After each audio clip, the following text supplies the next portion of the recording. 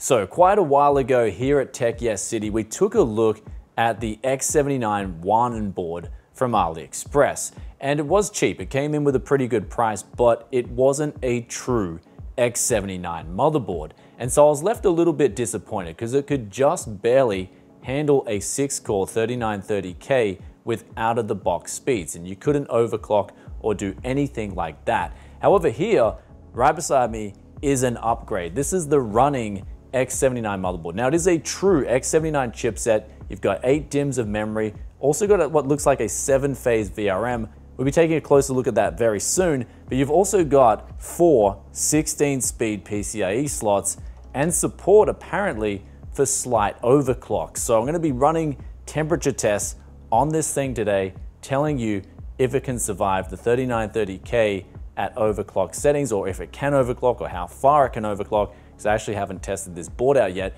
But another thing too, you guys have been asking me to take a look at the dual CPU socketed Huanan boards. And honestly guys, I actually have gone through dual socketed CPUs in the past and I'm not a big fan of them. They have problems with games and they also have other little problems that you can run into, especially when you're using it for desktop usage. But besides all that, they feel, in my opinion, a lot laggier than single CPU solutions.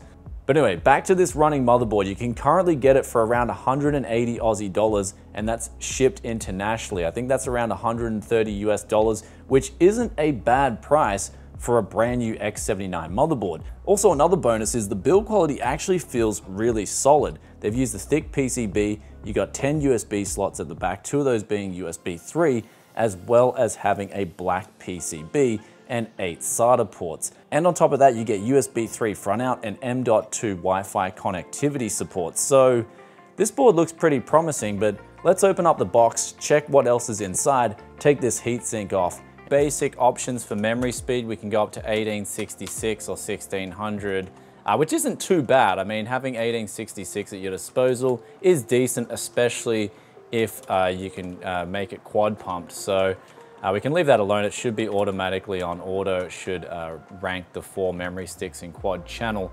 If it doesn't, we'll, we'll find out in Windows. But uh, going back to the CPU settings, there should be options to overclock the CPU itself. Uh, so going over here, I think it's in CPU power management. And uh, right down here, we've got power technology. You can disable that if you want custom. I do like to have the turbo states on, especially when you're idling on the desktop, they help save power. Uh, but we do have overclocking down here. And so it's uh, got a ratio limit of maybe, you know, on Sandy Bridge, you could easily get these CPUs up to 4.6. But uh, just for overclocking sake to test if it works out properly, we're gonna overclock this to 4.4 gigahertz uh, just to see if it works. In terms of voltage control, it does look like it's very limited on this board. Um, I will just have a look and see what I can find, but uh, again, this BIOS is a very simple BIOS. I've seen this before uh, when I had the dual Xeon rig. It looks like it's pretty much the exact same BIOS. So there isn't a whole lot of control, uh, but you still do have some basic extra features which you can take advantage of.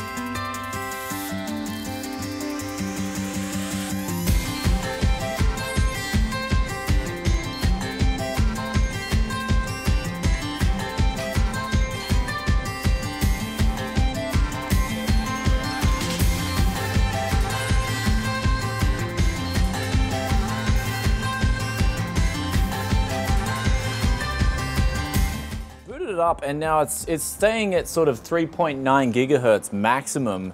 Uh, it's sort of fluctuating between that 3.6 to 3.9. Definitely not the 4.4 that I try to lock in there. So I'm gonna go back into the BIOS, try to change a few things around uh, because it does look like this wants to max out at pretty much 3.9 gigahertz since it is using the C600 chipset. So uh, it's actually not using, I don't think, a, an official X79 chipset because looks like the options are limited. And as I said before, with that uh, dual Xeon build I did in the past, the BIOS looks exactly the same. But let's try to take one more peek back in the BIOS and see what we can do before we actually start testing this thing. Though one good thing about this board so far is that it is indeed displaying quad channel memory with the 1600 megahertz Corsair that we locked in there.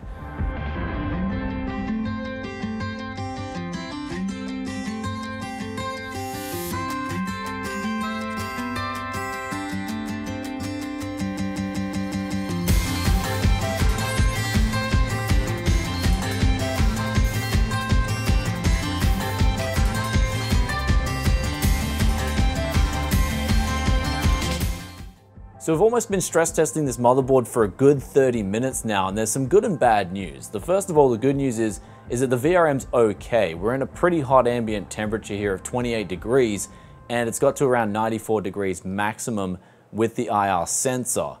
And so this is all right at 140 watts. The problem is, however, is that we can't get above 3.9 gigahertz. Managed to get the 3.9 gigahertz completely stable, uh, by changing the power limit settings in the BIOS with the seconds on the limits.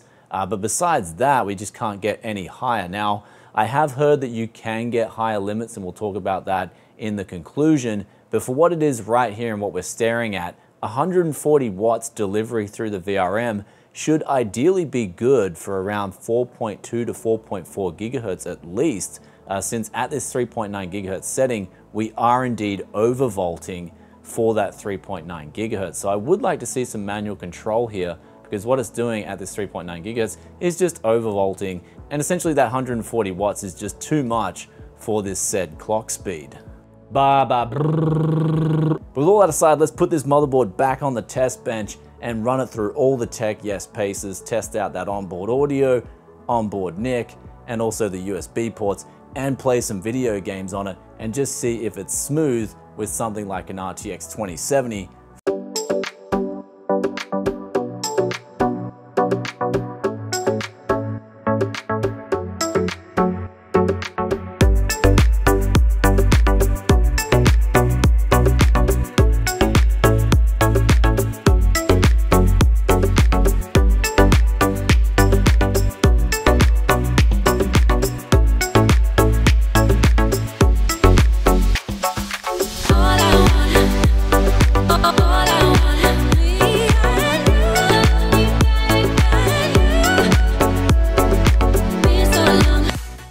So we've finished taking this motherboard now through all the paces here, and the good thing is, is that it includes a one gigabit per second NIC. And now you might be stopping and laughing there, like, is that standard on all motherboards that you get, right? Gigabyte, ASRock, MSI, Asus motherboards. But the thing is, some Chinese motherboard manufacturers will actually only put, even in 2018 and 2019, a 100 megabits per second slash 10 megabits per second NIC solution.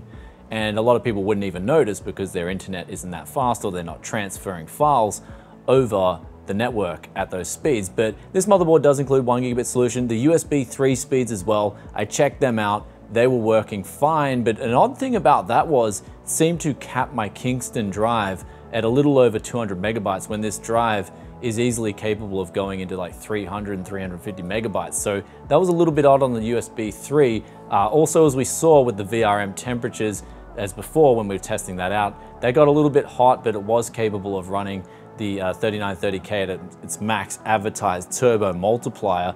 Uh, I would like to put in a 1650 uh, V2 as a lot of people are buying the running combos with that CPU in particular. Perhaps it has a higher native multiplier. And because it's on 22 nanometer as opposed to 32 nanometer, it can utilize that max power limit and clock higher. I believe some people have got that CPU to 4.2 gigahertz on all cores on this particular motherboard. But here today, we only got 3.9, and in Cinebench it got close to 1,000 points. We had quad channel memory support. And also another bonus on top of that is I decided to test out the onboard audio, and it's pretty bad. I mean, there's no noise filters, which is okay. Uh, but anything over plus 20 dB, 100 noise level starts to really bring some noise into the mic. So you want to keep this on plus 20 dB volume level of 50 if you decide to get this board, uh, but also the audio out that's going to your headphones. I did a frequency response and there was a massive amount of bass roll off, uh, 20 hertz and under. So if you like sub bass, you're going to be missing out with this motherboard. But not only mention that, uh, the actual frequency response curve itself was very shaky, which is indicative of cheap components used throughout the audio process there. So I wouldn't be buying this if you're an audiophile, or if you are an audiophile, definitely have a separate piece of DAC amp solution ready for your headphones. But then the last thing I tested with audio was the crosstalk levels, and they were actually very good uh, about minus 80 dB. And the funny thing is on this motherboard, even at a volume level of 100, there was no leaking like we've seen with practically all the major motherboard manufacturers with Z370, Z390 and stuff in 2018 where their uh, left channel was leaking over to the right channel past the volume level of 90, this problem doesn't exist on this motherboard. So it can be fixed, and I would like to see that fixed on those uh, high-end motherboards in 2019. But all that aside, let's move on now to the verdict with the Runing motherboard. Is it worth your money? And I mean, at 130 US, it is a step up over the Huanan board. I would definitely buy this over that Huanan board.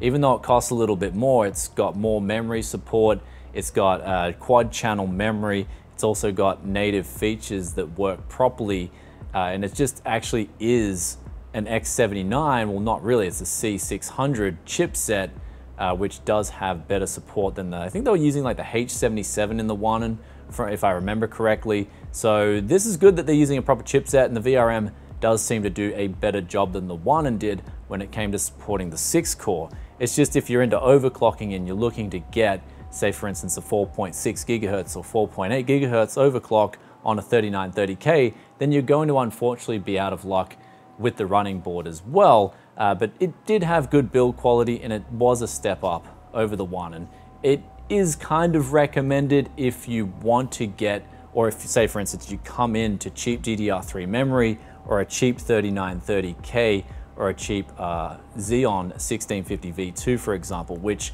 you can pick them up for very cheap. I believe I picked these uh, 3930Ks up for, I think it was $60 or something. It was, it was very cheap. So if you can get the six cores for super cheap, and you're looking for a motherboard and you just can't find one or they're overpriced, the X79 boards out there, then this one will do the job but just know it does have some limitations. I'd say the audio and also the overclocking do kind of let this down. And the VRM temps, they weren't that bad considering the ambient temperatures uh, and considering that we were pushing 140 watts through it. So not all that bad for the Runing board. And of course, the last benefit of this board is if you do get the Xeon chips, then you can run uh, registered DDR3 memory on this board too. So there is that option. And when it came to gaming, it was very smooth. Quad channel memory is a good thing. 3.9 gigahertz, even on Sandy Bridge over six cores, 12 threads, will do a fine job in 2019, even with the latest and greatest titles.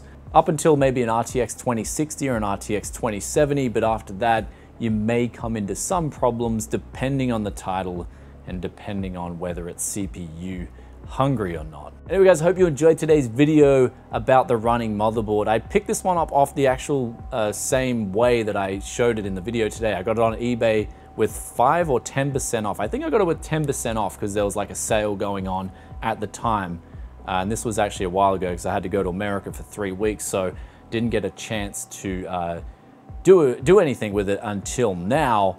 And so I hope you enjoyed this random look at a random unknown motherboard maker. If you did, then be sure to hit that like button. Also let us know in the comments section below if you like this board, you like the aesthetic, or you just like it in general, you think it's maybe a decent option. I do definitely think it's a decent option. Just I did want a little bit more, especially in terms of uh, flexibility in the BIOS and overclocking. But if you guys want me to take a look at that dual socket Huanan board, I can. But I'm to tell you straight up, I already know the conclusion with it. I'm not to be recommending it to pretty much the majority of people, uh, just for those who need cores and threads for specific applications on a specific budget. Anyway guys, I'll catch you in another tech video very soon. If you enjoy the content as always and you want to see it the moment it's uploaded, be sure to hit that sub button with the notification bell. And also if you want to catch a sneak preview of the content before it hits YouTube, be sure to check us out on Instagram, Tech Yes City and I'll catch you in the next one. Peace out for now. Bye.